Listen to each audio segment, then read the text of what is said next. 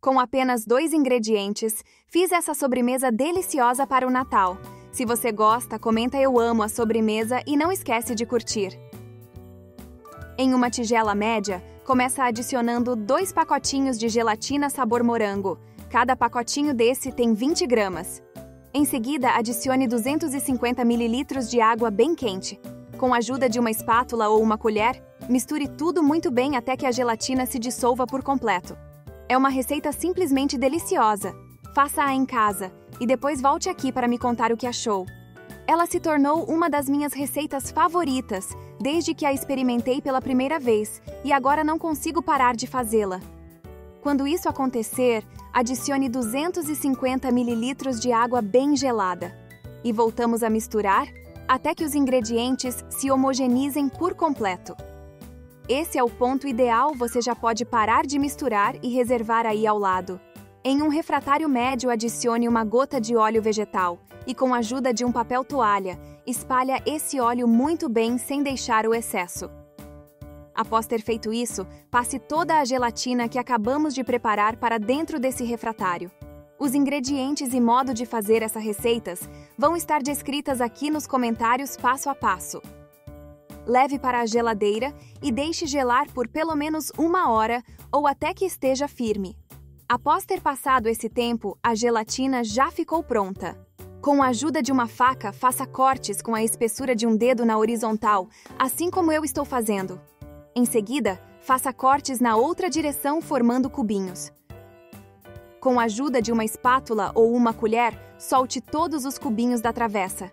Deixa aqui nos comentários a cidade de onde você está assistindo. Eu quero te mandar um grande abraço e te agradecer por compartilhar essa receita. Após ter feito isso, passe eles para refratário, onde você montará a sua sobremesa e reserve aí ao lado. A medida desse refratário que eu estou utilizando é de um litro. Em uma tigela media, adicione dois pacotes de 20 gramas cada de gelatina sabor morango. Em seguida, adicione 150 ml de água bem quente. Misture tudo muito bem até que a gelatina se dissolva por completo. Quando isso acontecer, acrescente 150 ml de água bem gelada e vezes a misturar até que os ingredientes se homogenize. Por fim, acrescente duas caixinhas de creme de leite, cada caixinha dessa tem 200 gramas.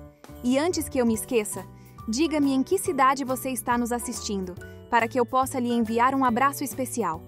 Agora misture tudo muito bem até que os ingredientes se homogeneize por completo.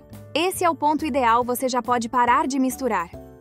Após ter feito isso, adicione esse creme no refratário, onde já colocamos os cubinhos de gelatina. Se você chegou até aqui, é sinal que está gostando da nossa receita. Então já clica no botão compartilhar e compartilhe esse vídeo com todos os seus amigos. Para você não vai custar nada e para nós vai fazer toda a diferença.